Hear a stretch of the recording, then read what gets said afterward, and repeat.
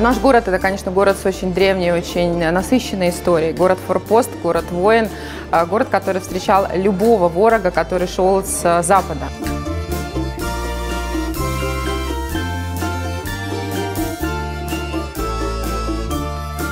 Россия начинается здесь, потому что здесь э, въезжающий в Россию человек встречает первый раз русскую глубинку. Русские реки, озера и природу.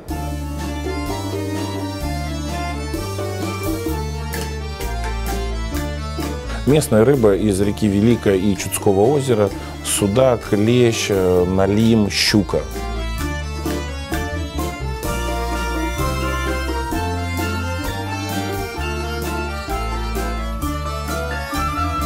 Клюква, брусника, черника, голубика, малины очень много.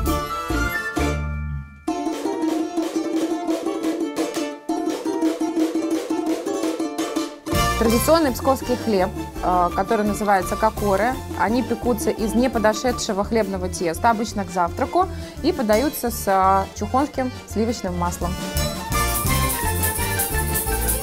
Псковская традиционная каша э, из пшена с горохом, и называется она глазуха. Традиционное для псковщины блюдо, которое в виде десерта подается, внизу овсяный кисель, сверху ягодный кисель.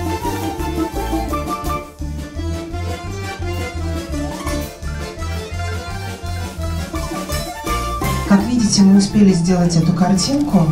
А если разобраться, то каждая такая картинка – это не труд. И именно на кокоры и на какие-то другие блюда, которые мы тоже название должны выучить, а, должны приезжать в Псковскую область люди, гости.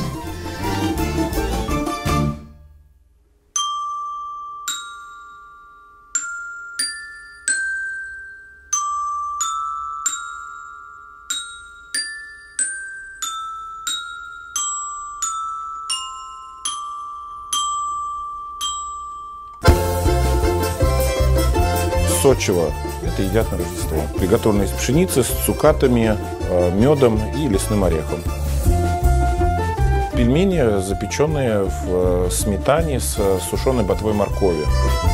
Местный псковский судак, выловленный в Чудском озере. Мы его маринуем с репчатым луком и ягодами можжевельника. Прошу приветствовать Андрей Лебедев, шеф-повар сегодняшней нашей площадки.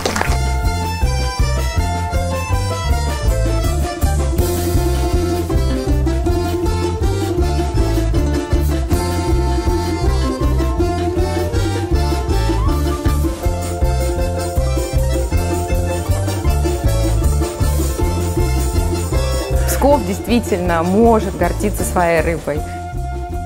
Жареный сниток, вяленый сниток. Вяленая плотва – это вот хороший гастросувенир, который можно увезти из Пскова. Интереснее быть дома и пригласить кого-то к себе. Мы рассчитываем, что будет гастрономический туризм. Мы все к этому готовим.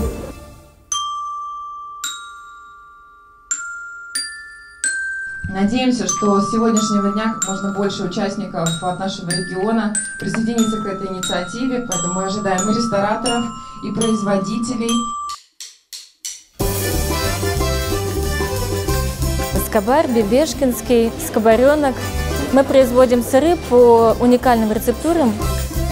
У нас есть абсолютно все. У нас есть птица, у нас есть молочная продукция. Все, что есть на Псковской земле, в общем-то, есть в нашем ассортименте. В 2014 году наша пивоварня заработала. Аутентика в каждой капле – это наш девиз.